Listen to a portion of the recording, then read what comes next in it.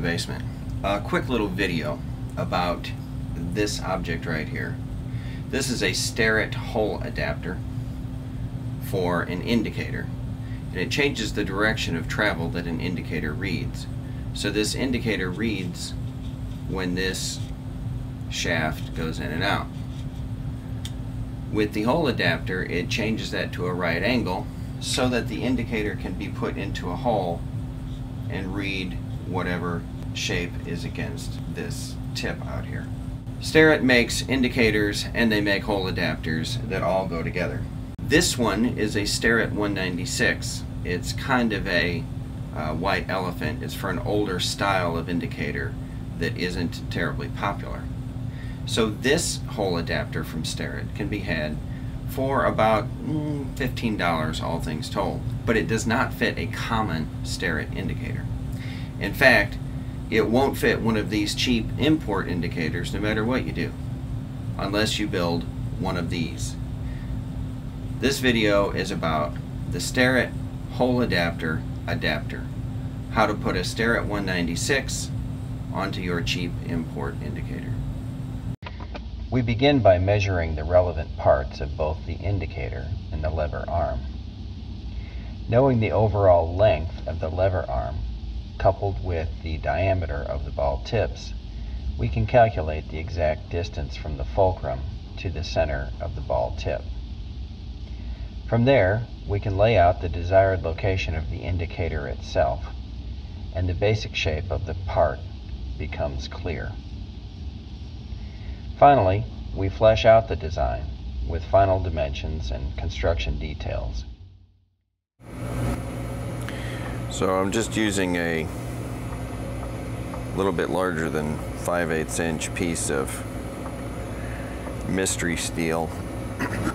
First thing we'll do is face this end.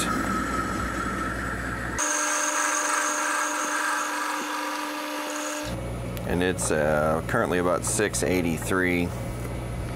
So I need to take off a total of about 50 thousandths.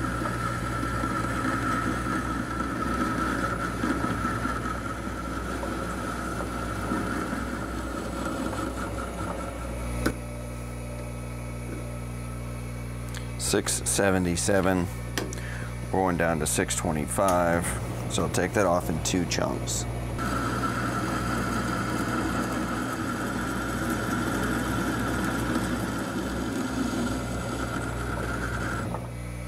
650, take off another 25.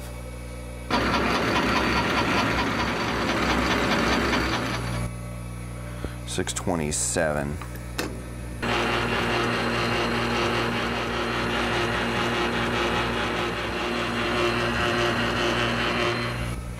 All right, so now we'll flip it around. We'll face this end and then support it on center and then keep working. So I'm beginning to thin down the shank in between the two end lobes.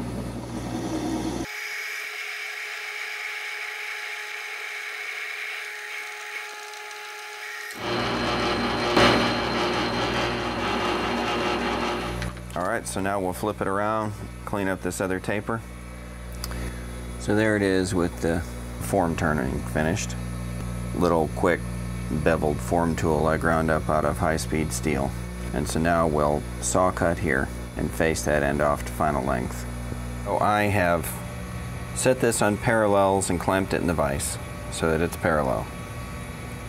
I just centered front and back using the centering function on the DRO. So now I'm zero set on the very end of this piece.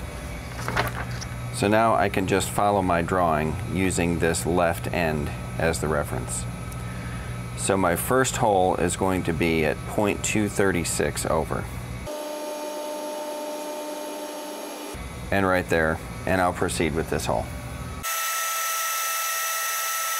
All we need now is another hole in the same plane that's 1.801 away. And I'm moving over till I reach 1.801.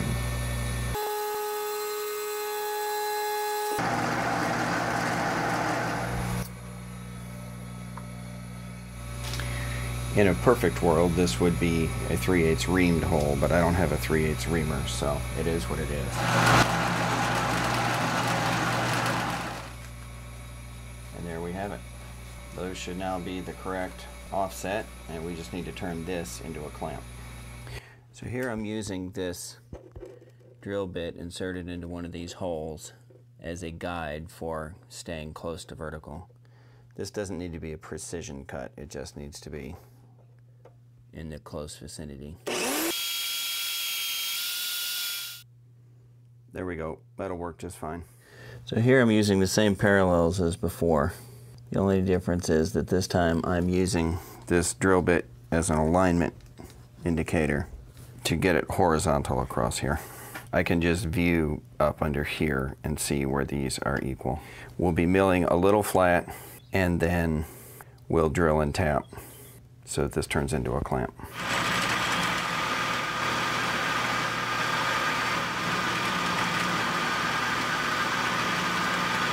Digging through my stuff, I found this kind of a thumb screw looking thing.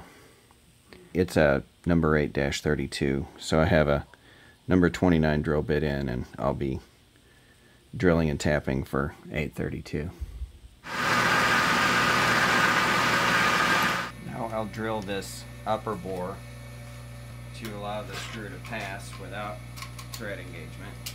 This looks like a number 20. Gives me 161 clearance. This one I'm only trying to drill through this upper slice, not the lower slice.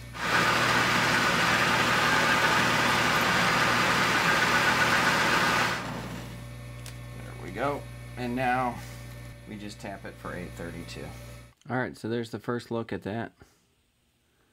As long as these holes are an accurate distance apart, then it should work. Now we need to make the bushing that goes in here and receives the shank of the Starrett part.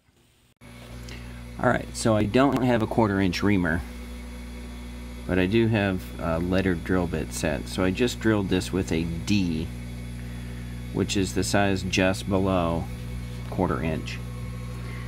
And with a little bit of slop that you sometimes get with drilling, this can just slide in there. So that's actually a very nice fit on that hole. So there's the center hole. Now all I have to do is turn down this shank to fit that 5 16 hole that I left in the other part. There it is after turning. This is now 314. That's a little thicker just to provide some support and the inside is a tight fit for the Starrett part. I will saw cut this, clean up the end, and we'll put it together. I'll be holding these together with Loctite 680 makes a perfectly strong bond for this kind of an application. There we go. Now we'll let that sit up for most of an hour and then we'll proceed. So from our calculations we know that the tip of this needs to be flat and needs to be 50 thousandths across. I'm not sure if that is just a hardened ball bearing or if it's actually carbide. But either way, we're going to attempt to grind it the same way, which is the diamond-faced cup. And in order to get it flat and square, I'm going to chuck it up in the rotary tool. So just for reference, that's what 50, in this case 54 thousandths looks like. So it's actually pretty skinny. So I don't need to put much of a flat on here at all. And I can tell by the way the tool is running that it's fairly square. So is this going to be square to microns? No. Is it going to be within a half a thousandth? More than likely.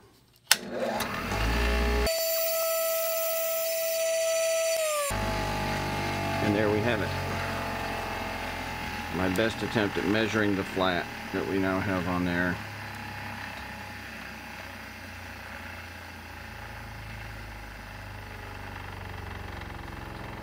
Something like 70 thousandths. So now we have the tip.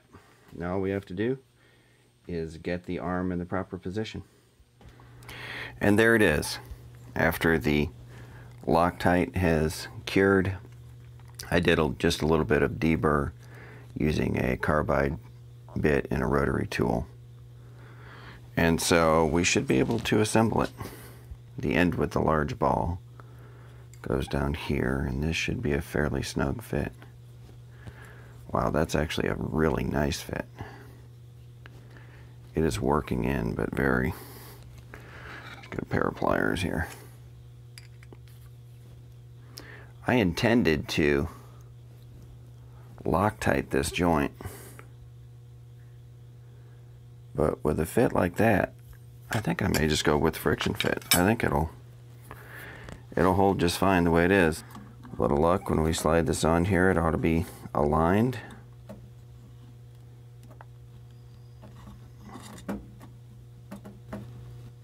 Something like so. All right. Yeah, it looks like we have decent alignment here on the tip.